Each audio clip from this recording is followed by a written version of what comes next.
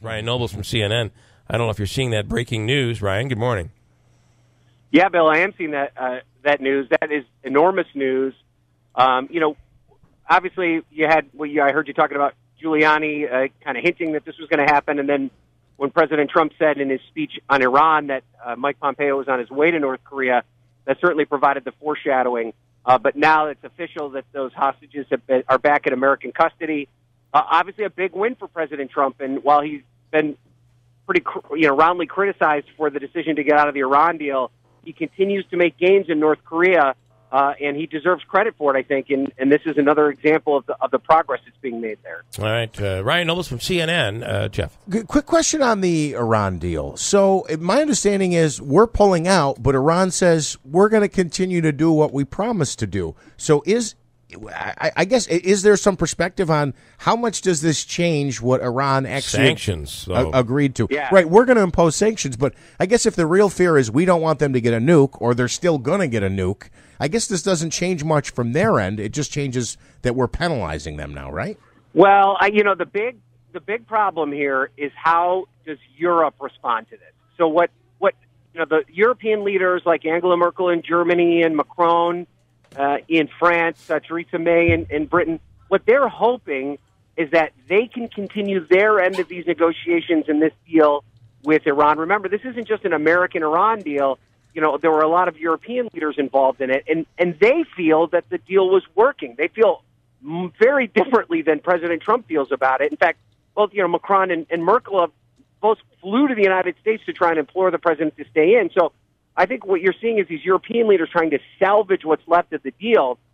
The answer to your question is, Jeff, these economic sanctions are so big, and there were all of these foreign companies that heavily invested in Iran that said you know, we're going to take a, a, chance here now that these sanctions have been lifted. You know, Boeing is the best example. They were going to try and rebuild uh, the air uh, uh, commercial airline business in, in Iran. Now all these companies are like, we can't do business with you anymore. And at that point, when Iran maybe now says we're going to try and, and stick with this, but when their economy starts to collapse, is that when they retreat back uh, to going the nuclear weapons route. I Which, think that's the big unknown here, and I think these European leaders are going to try and salvage it the best they can. Which, by the way, is exactly what's happening. Their uh, their dollars just uh, plummeted. Uh, the value of, of their currency has just plummeted. So here's a, a question, uh, and I everybody. And I know there are plenty out there that say getting out of the Iran deal is a, is a good thing, but most strategists whether they like the deal or don't like the deal. And I saw it when Susan Rice and Condoleezza Rice came to Hamilton College. They argued, and it was unbelievable to watch this. Susan Rice and Condoleezza Rice getting into it, aggressively getting into it to the point where the moderator couldn't even uh, couldn't stop them. Condoleezza Rice totally against the deal, but said it would be a huge mistake to get out of it. Um, is it possible that this is the first move in the president's art of the deal to get concessions from Iran for the United States to get back in a deal? Well, that is definitely the argument that a lot of uh, Donald Trump supporters are saying that he is the master of negotiation. He's basically taking the same attack that he did with NAFTA and with the, the uh, Asian Trade Pacific deal. Um, that you know he's going to pull out and then he's going to try and come in and work a better deal the difference, I think, with Iran is that his rhetoric has been so, so tough on them. And Israel just has no interest in negotiating with Iran in any way, shape, or form. And yeah. obviously, the Trump administration is closely aligned with Bibi Netanyahu and Israel. It seems to be taking cues uh, from Israel's hard line on Iran. So while the president always seems to be open to negotiation, the rhetoric with this, particularly the rhetoric as it relates from a national security perspective, doesn't seem to open the door to those kind of negotiations. Um, so I think you know you heard in the president's remarks yesterday. He kind of alluded to that that he would he would like to make a better and stronger deal. I just wonder where the path to that deal is because you know within the scope of this deal, there's already opportunity to kind of fine tune the agreement and to make sure that both sides are living up to it. So if you scrap the whole deal, you've got to start from square one. Yeah. And it was so difficult to get the deal done to begin with. So maybe that's his plan, Bill. I just don't know. I mean, that's why so many people are skeptical as to whether or not it'll work. Um, uh, it, it is breaking news. The U.S. detainees released from North Korea. This is just breaking right now. Um, here's something that uh, that uh, that they talked about the uh, the uh, Condoleezza Rice, who again I, I want to reiterate was absolutely against the deal. Um, and speaking to somebody and Susan Rice that was a part of the crafting of the deal, um, it was really interesting. But Condoleezza Rice said a lot of this has to do with really winning the the battle with Iran. That there are there's a younger population and a moderate population like never before in Iran since certainly since 1980, and mm-hmm. that that the thought of more sanctions, tougher sanctions, getting out of the deal is going to is going to actually hurt them and everything right. that has been gained to try to to make Iran more of a moderate country will be lost because you'll lose this group. What what are your thoughts and what are you hearing about that? Yeah, Bill, you have crystallized the most difficult argument in the diplomatic community about the way to deal with oppressive regimes, and that is: do you put a stranglehold on these dictatorial uh, leaders with the goal of trying to get them to change their ways. But when you do that, those dictators still live lavish lifestyles, and it is the people under them that suffer. And not only that, those dictators blame that suffering on the United States and, and these other foreign powers as opposed to their own actions. And there are many in the international community that believe the tack that President Obama took with Cuba, for instance, is the better tack. Open up lines of communication, even though these regimes are going to benefit from it, with the goal of flooding these countries with the information of seeing what the world is like outside of these regimes, and then perhaps the next generation of leaders will then take the steps necessary uh, to reform their countries.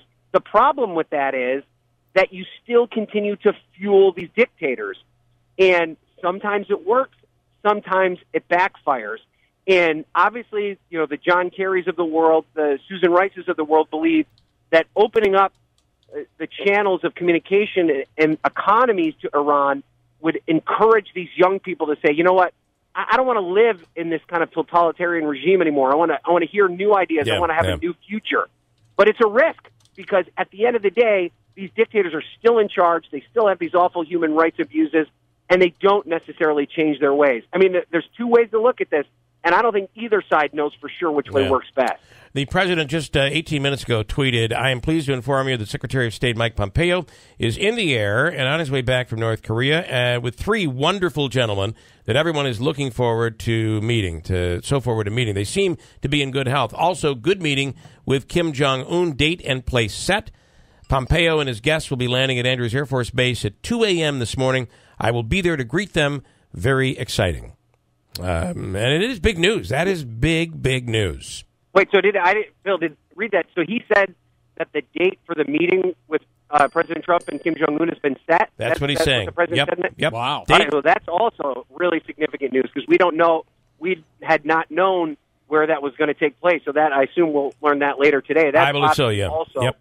Yeah, major, major news. So yeah, a lot happening this morning. So uh, how do you um, how do uh, the, the, one criticism that uh, that Trump supporters have right now is oh the uh, the people who are against Trump just can't they don't know what to do they they can't handle this that the, he's actually accomplishing things.